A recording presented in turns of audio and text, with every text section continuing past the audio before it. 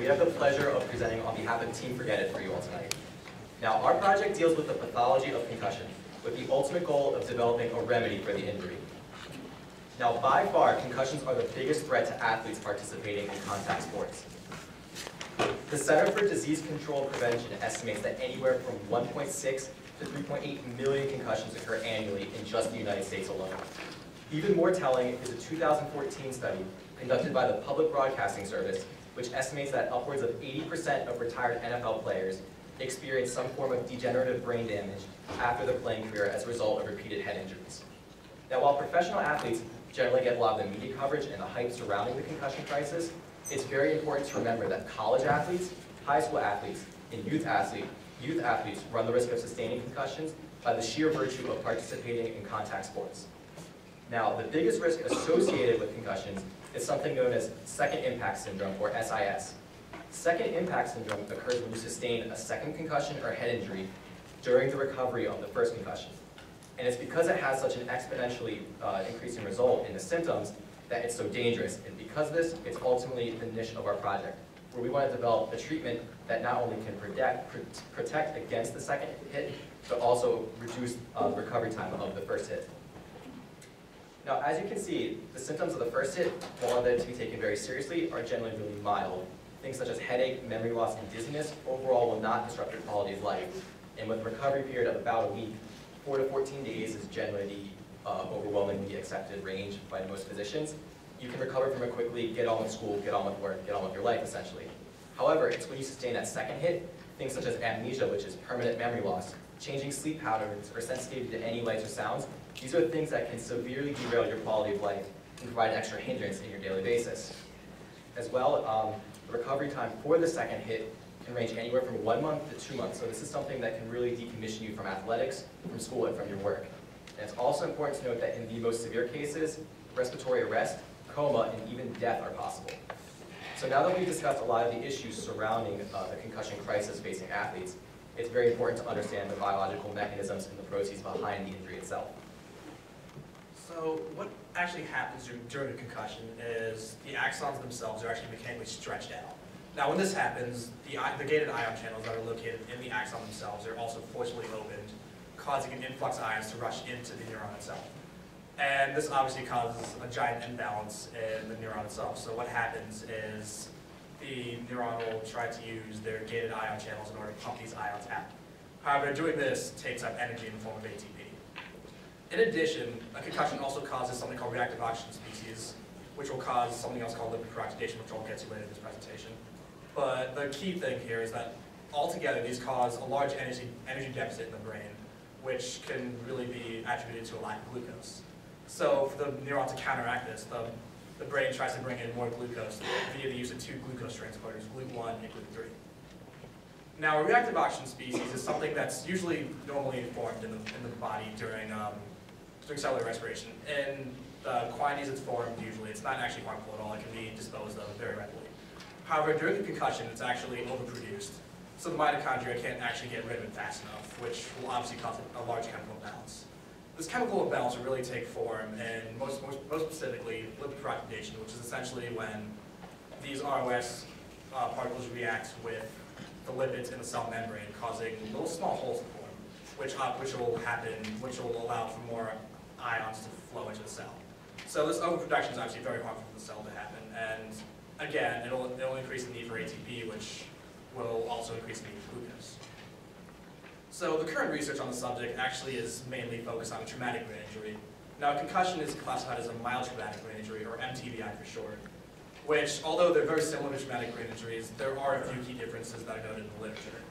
So what the niche that our project really wants to fill is the interaction between GLUT1 and GLUT3, as I mentioned earlier, which are the two glucose transporters in the brain, uh, hexokinase, which is a key enzyme that metabolizes glucose, as well as lipid peroxidation and reactive oxygen species. We want to measure all of these in a mild traumatic brain injury. Um, so far, the, the, interplay between all these elements is currently unknown, so this is what we really want to do with our hopeful publication. And one last thing is most of the studies that are on the market so far really take place in vivo, meaning they use a mouse or a rabbit model to really mimic concussion. So they'll actually concuss the rabbit or the mouse or the rabbit and will actually cause a concussion like that. However, our study uh, takes place in vitro, meaning we're gonna use actual, just, um, human cells. So we're gonna mimic the concussion with the cells themselves, therefore eliminating a lot of the variables, variables that come, up- come about using animal model. So our hypothesis really is as follows, that a concussion will really alter the the three, the elements you talked about with glucose transport and reactive oxygen species. And they'll alter them in the three cell types that are made up by the blood-brain barrier. Um, neurons, astrocytes, and endothelial cells. In addition, we also hypothesized that antioxidants, most notably vitamin E, may be actual, actually be helpful to protect against the detrimental effects of a concussion. So we, we split our research up into three different aims. The first aim really um, seeks to look at the elements of glucose transport, most notably gluco- GLUT1, GLUT3, and hexokinase. The second aim examines oxidative stress levels, which will determine using the levels of ROS produced in the cell, as well as the rate of lipid peroxidation. And lastly, our third aim will really seek to look at cell damage, which we'll look at via cell viability. And in each of these three aims, we'll, we'll seek to look at A, after injury, and then B, after treatment with the vitamin E antioxidant treatments. Uh, so our experimental groups are as follows. We're essentially going to break this down into four different experimental groups. The first experimental group is the control, which is normal, healthy cells. The second experimental group is with one hit, meaning we're going to concuss the cell once. Uh, our third experimental group is two hits, meaning we're going to concuss the cell once, wait a certain period of time, and then concuss the cell again. And then our final experimental group is with treatment with vitamin E. So we'll concuss the cell once, we'll incubate the cells with vitamin E for a fixed amount of time, and then we'll concuss the cells again. And so far, the research we've conducted so far that Peter will get to in a second will have so far been talking with healthy cells, and then we've so far focused on aims one and three, meaning aims with glucose transport elements as well as cell damage. All right, as Ashwin said, we're doing all of our studies in vitro, which means we do our experiments on cultured cells. And uh, we employ three different cell types, HPMCs, which are our endothelial cells, astrocytes, and neuroblastomas. And uh, our very own Anna has been in charge of plating and culturing those cells, and she's done a great job of that. Um, in order to determine the relative, uh, or the concentration of the glucose transporters, uh, not only glu- uh, GLUT1, which we've done so far, we employ the Western blot technique. Uh, and the Western blot technique allows us to determine the relative densities uh, of the GLUT1 protein in each of our cells. And what we found was that there is a dose-dependent increase in the glucose transporter expression uh, with an increased doses of H2O2. Uh, we use hydrogen peroxide in our studies now uh, to mimic the oxidative stress that occurs during a concussion, uh, and is, is uh, the medium for which we mimic the concussion during our, uh, during our preliminary experiments. And what we found was that more H2O2 uh, yields more glucose transporters in the cell, indicating that an injury, oxidative stress, will increase the cell's glucose uptake. Uh, so using the Western blot, we found that glucose, uh, glu- the GLUT1 transporter increases during an injury. And uh, we also employed a, uh, a technique in which we were able to determine where this GLUT1 protein uh, localizes in the cell in the event of an injury. Uh, we used, we used a, an assay that uses antibodies, fluorescence microscopy. You can see some beautiful images here with the blue dye labeling the cell's nucleus, the green dye labeling the GLUT1 protein.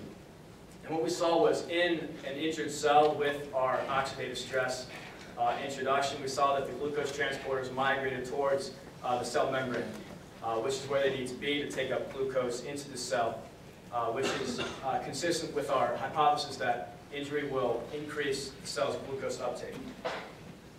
Uh, another parameter we use to measure cell injury during oxidative stress is something called cell morphology, which measures the shape of the cell and how uh, the cell's membrane is, uh, is affected during the event, the event of an injury. And uh, we measured this using a few different parameters, average circularity of the cells, because during an injury, uh, the, the membrane will be compromised and the circularity will be lost. The average area of the cells is during an injury, the cells will shrink in size. The average gap between the cells is during an injury, the cells will, uh, will migrate away from each other and reduce their confluency. And the Feret diameter of the cells, which measures the cell's longest, uh, longest point, or longest side. What we found was that in the injured cells, uh, the circularity decreased, the average area decreased, and the average gap between the cells decreased, uh, all consistent with our um, with the injured model that we determined uh, with the GLUT uh, with the GLUT experiments that injury occurs during oxidative stress. Uh, we did not find significant uh, difference in the Feret diameter of the cells. Um, another Another uh, parameter we measured was cell viability, really which cells are alive, which cells are dead. And uh, we employed a technique, fluorescence microscopy as well, and we used, uh, we incubated the cells with uh, dyes, fluorescent dyes, which labeled alive cells green, as you can see on the screen, and dead cells red. Uh, and we measured this in the control group and an injured, injured group. What we found was that in the injured cells, uh, there was a marked decrease in the number of alive cells and an increase in the number of dead cells. Uh, you can see on the picture on the right have, also has less numbers of cells. Uh, in our injured groups, uh, we found that there was a total uh, decrease in the number of cells, the total number of cells, uh, which indicates that during, during the injury the cells die and will detach from the membrane, making so that there is less, there's less cells in our, in our samples. Now, as Ashley mentioned earlier, our project is divided into three primary aims. Each one deals with a certain facet of the concussion process, which we're researching. Currently, we're focusing exclusively on aim one, glucose transport across the blood-brain barrier, as well as aim three, assessing cell viability before and after the injury. Our goal for the remainder of the semester is first to purchase the cell injury controller, which is an apparatus that will actually let us replicate the symptoms of concussed cells instead of working with just uh, injured cells.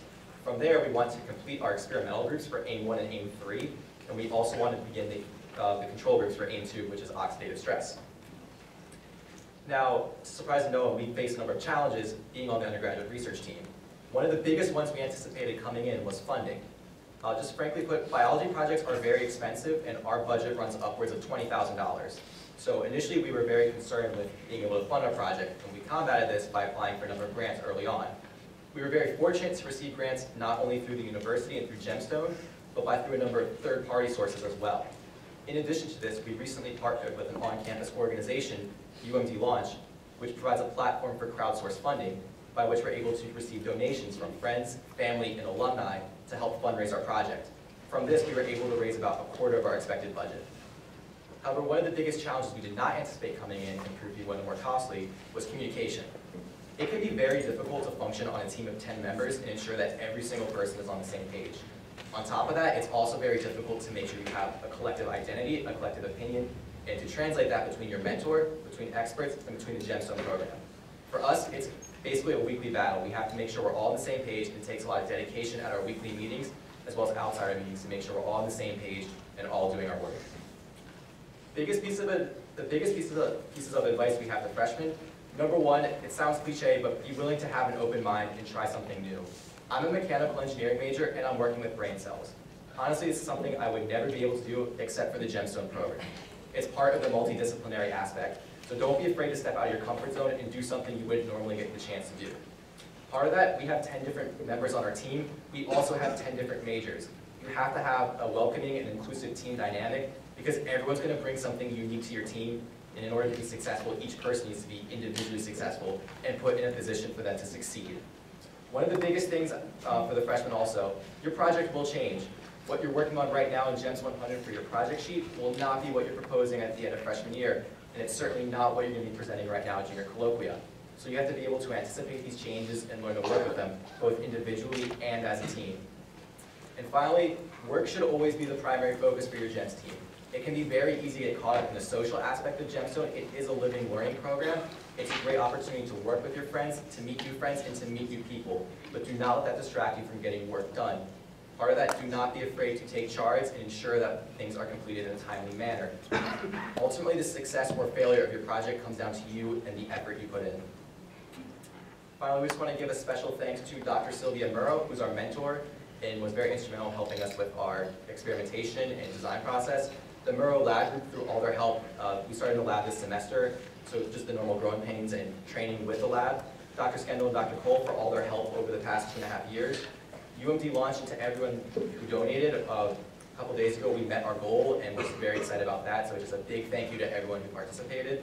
Mrs. Nevenka our librarian, and finally, just everyone part of the Gemstone program, especially Vicki Hill for all the help with the financial matters. Any questions?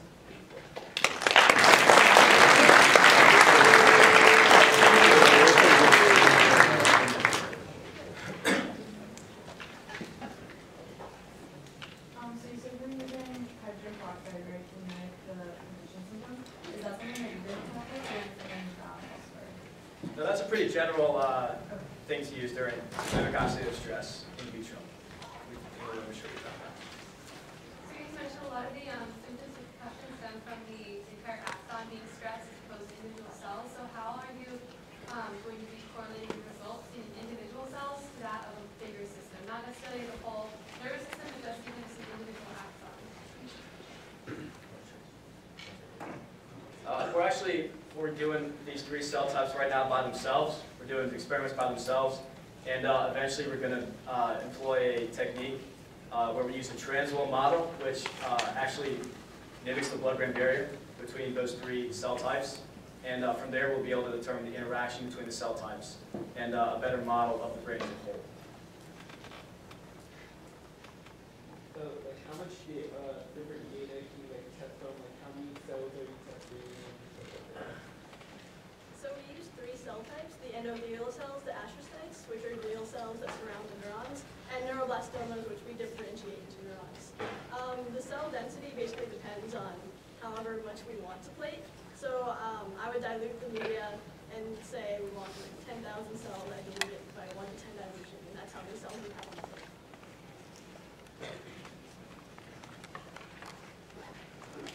Like huge vitamin that's, Well, vitamin E in um, the literature already is actually shown to have multiple, um, uh, I guess the right word would be, um, well, it's, it's shown to reduce um, oxidative stress in different models. So we want to see if uh, oxidative stress caused by concussion also applies to that. Will concussion cause um, oxidative stress also be reduced E? Yeah, in the initial literature, we found vitamin E um, was able to reduce oxidative stress in traumatic brain injuries, and as Ashley mentioned earlier, concussions are a subset of traumatic brain injuries classified as minor traumatic brain injuries, and that has not been studied yet. So we're just kind of relating it to thinking that there's a positive correlation there, and that's really one of the big aims of our research, to explore that. So what is the big picture that you're looking at? Like, if you find out that all of this stuff has a correlation, are you trying to, maybe it might go towards a, a certain treatment, that like food diet, or, um, some biosynthetic way to help athletes or people who get concussions? Like, Well, if we do find that vitamin E does reduce um, recovery time and help with second impacts, uh, I guess the next step would probably be developing a drug delivery system. Antioxidants can't really cross the blood-brain barrier, so that's like an entire different gemstone project if you want to look into that. At the current moment, it was more, I guess, adding towards the scientific knowledge base. So if someone in graduate school or if anyone wanted to continue the research, we could build upon it at a later date. Uh, how could you replicate something like neuroinflammation that would occur after concussion in such an experiment? Well, the cell injury controller is actually, it was actually created by uh, researchers at uh, VCU University. So what it does actually is it, um, it brings up like a, s- an air pulse in like a fixed amount of time. Um, the, I guess, pressure and time intervals are actually set by the researchers who created the thing itself. We can, we can set- it to, I believe it was like, actually can't remember the PSI off the top of my head, but what it does is essentially, it would mimic the axonal stretch that was consistent with the mild traumatic brain injury.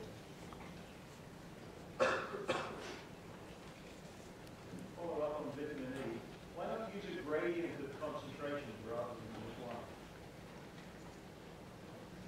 I think a lot of that has to do with just um, the amount of time we have. We only have about like two years to do our research, so a lot of it's also dedicated to really looking at the glucose transport elements as well as reactive oxygen species. Um, adding in different concentrations and different grades of vitamin E would honestly take a lot more time than we have, put it frankly, and a lot more money than we have. So we decided to go with just one concentration of vitamin E, which in the literature has shown, in at least a traumatic brain injury, to make a difference. So we want to use that concentration for a mild traumatic brain injury. So in your experiment, how would you determine the appropriate time interval between con- concussing the cell once and then concussing the cell a second time?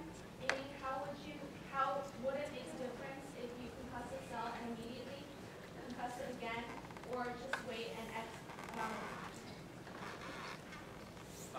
Actually, that's one of the things we want to look at in our research. What would um, a second concussion immediately after be different from second concussion um, a long, a long time after? So the two time points I believe we um, if- correct me if I'm wrong, that we've decided to um, go on our one hour and then 24 hours. So would do, for example, like one hour would mimic, you know, four? Okay, one five and 24, sorry. So like the one hour concussion would mimic, you know, an athlete coming back from the game an hour after concussion and getting hit again, while 24 hours would be, you know, waiting a full day really before coming back on the playing field. Also, like, a lot of the uh, chemical effects that occur after the mechanic, uh, initial um, injury, it takes like uh, a few hours for uh, those things to manifest themselves fully. So uh, that's how we kind of, you know, chose the time points that we're uh.